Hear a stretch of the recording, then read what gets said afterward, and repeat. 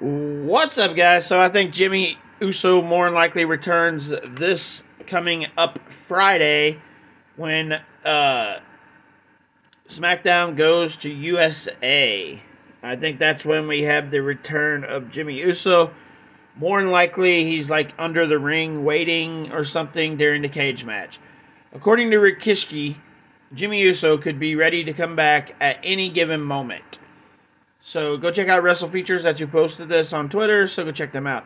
Jimmy's doing fine, I think, at any given moment. Hopefully, Jimmy will be ready to come back to be able to do what he loves.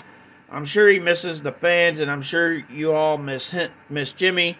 He's doing great. He's got some time to be able to rest the body, rest the mind, and he's ready to go. So hopefully, we're able to see Jimmy soon. And more likely, that's going to happen at this coming up SmackDown.